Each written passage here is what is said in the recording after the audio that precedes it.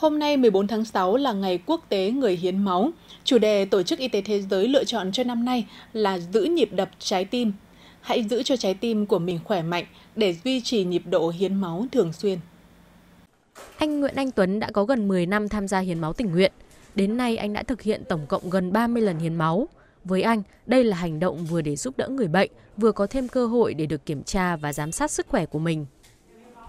Ờ, đối với tôi thì ờ, cái việc hiến máu thì cũng là diễn ra cũng ờ, nhiều năm nay rồi. Thì là cứ mỗi năm đều đặn là tôi sẽ cố gắng hiến máu hai lần để nói chung là cũng muốn là mong muốn là góp một phần công sức của mình vào và cũng có trách nhiệm với cộng đồng. Thứ hai là mình cũng cũng thường xuyên là rèn luyện thể dục thể thao để làm sao mà có được một cái thể trạng mà thể tốt nhất. Từ cái nhịp đập trái tim khỏe mạnh của người hiến máu, chúng ta hiến tặng những dòng máu khỏe mạnh để hiến tặng những người bệnh à, không may mà đang phải chờ đợi máu à, từng ngày từng giờ một và cái dòng máu của chúng ta thì sẽ duy trì nhịp đập của người bệnh. Ước tính ở nước ta mỗi ngày cần đến 5.200 đơn vị máu cho cấp cứu và điều trị.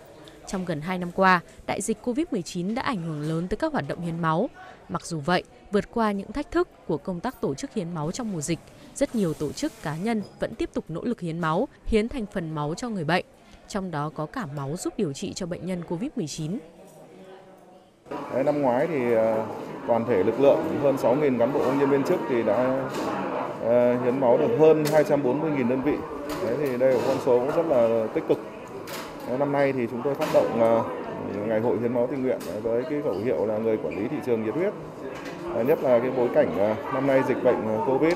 Thế thì tôi nghĩ rằng là cái việc hiến máu trong phát động toàn lực lượng này nó sẽ rất là ý nghĩa. Thì hiện nay thì lượng máu rất là khan hiếm.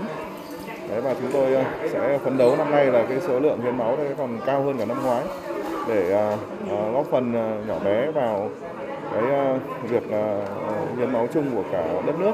Thế thì chúng ta đi hiến máu thường xuyên sẽ giúp cho cơ quan tạo máu sẽ vận hành và hoạt động được rèn luyện và thứ hai là đấy là cũng như là những đợt mà chúng ta được kiểm tra sức khỏe thường xuyên để chúng ta phát hiện sớm những vấn đề về sức khỏe kịp thời chấn chỉnh.